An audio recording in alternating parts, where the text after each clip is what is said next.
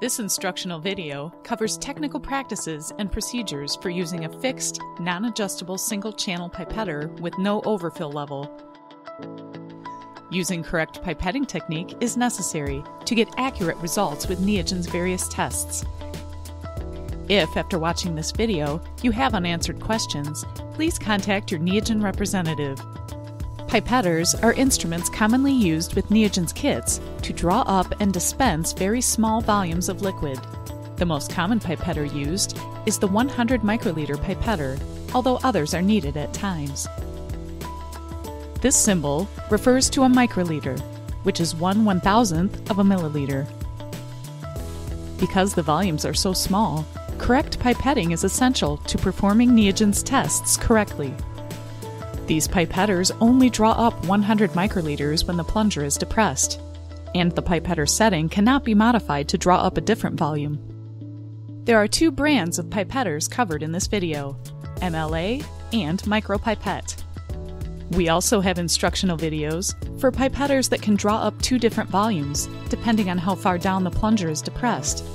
Pipetters where the volume setting can be adjusted, and multi-channel pipetters that can draw up multiple channels at a time.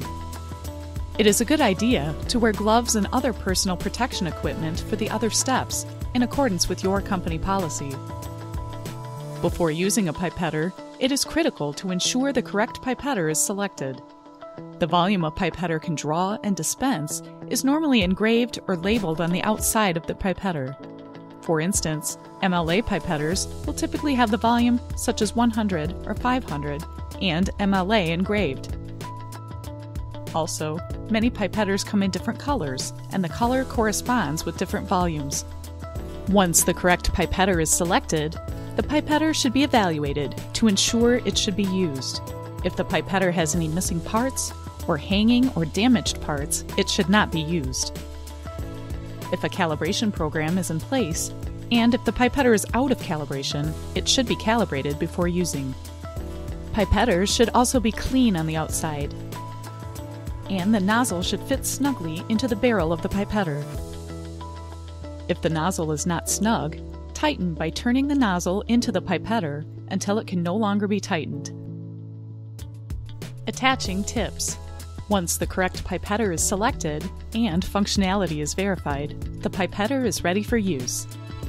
The first step is to attach plastic tips to the end of the pipetter. Neogen recommends using plastic tip boxes, where tips are placed upright into a box instead of attaching by hand. Attach the tips by inserting the pipetter into the tips and pressing down on the collar for the MLA pipetter. For the micropipette, Insert the pipetter into the tips and press down.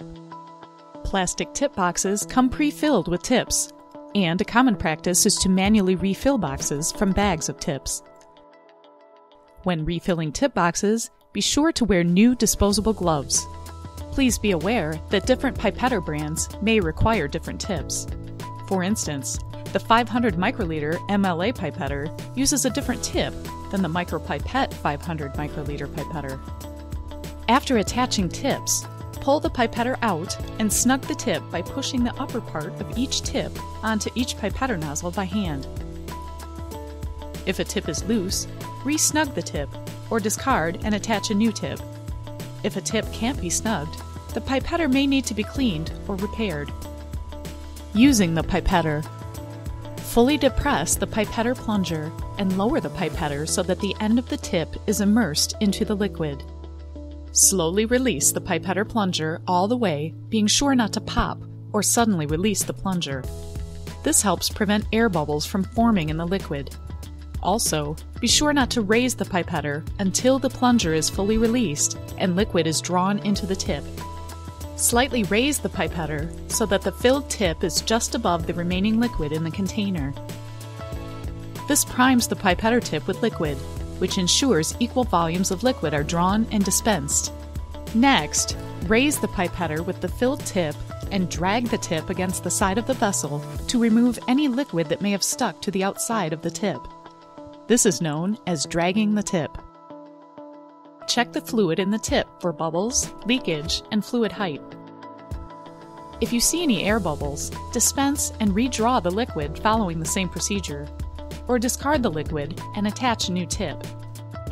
If a tip is leaking, discard and begin again. If the liquid in the tip is not at a proper height, dispense the liquid back into the vessel, re-snug or discard the tip, attach a new one, and redraw.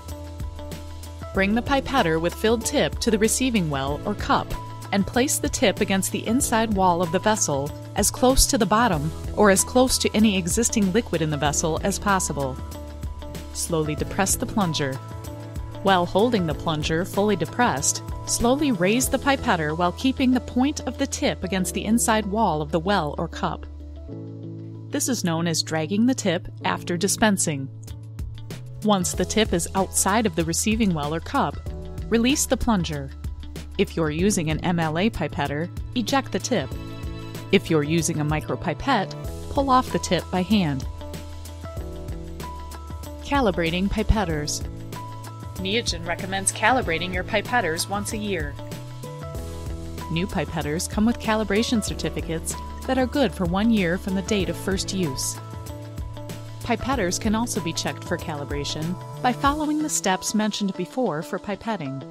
Checking calibration is also a good way to practice pipetting. To check calibration, pipette 10 tips of distilled water into a sample cup that is zeroed out on a scale.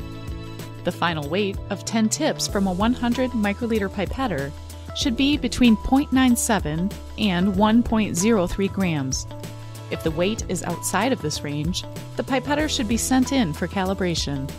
Neogen offers calibration services, as well as all of the products used in this video. Please contact your Neogen representative to learn more. Neogen is available and ready to help with additional support or products.